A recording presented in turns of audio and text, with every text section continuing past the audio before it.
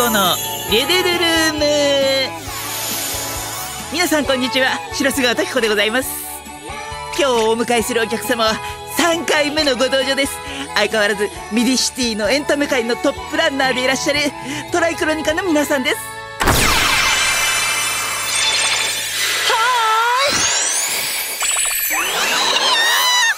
時子さんずいぶんお久しぶりになっちゃったね ほ本当に私のことお忘れになったかと思ってましたのよ。まさか。大切な時子さんを忘れるなんて。そんなことあるわけないさ。それより僕たちをまた番組に呼んでくれて。とってもサンキュー。ほらツインズたちもご挨拶してね。はい。ドラムの回です。よろしく。ベースのリクです。よろしくお願いします。一旦コマーシャルです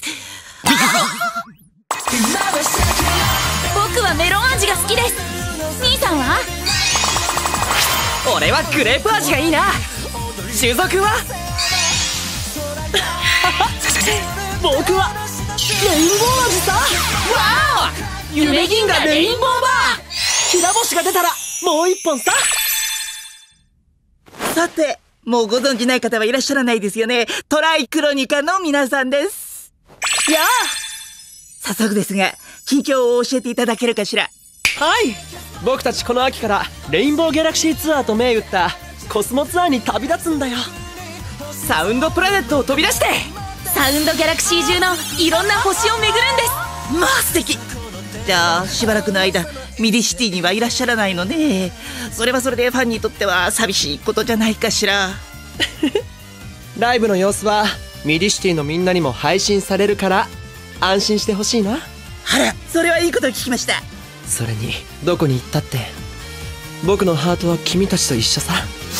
そうツインズたちのきら星と僕の明星の輝き。